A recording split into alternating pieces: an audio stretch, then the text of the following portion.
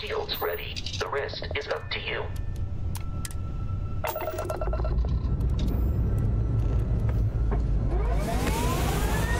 Here we go.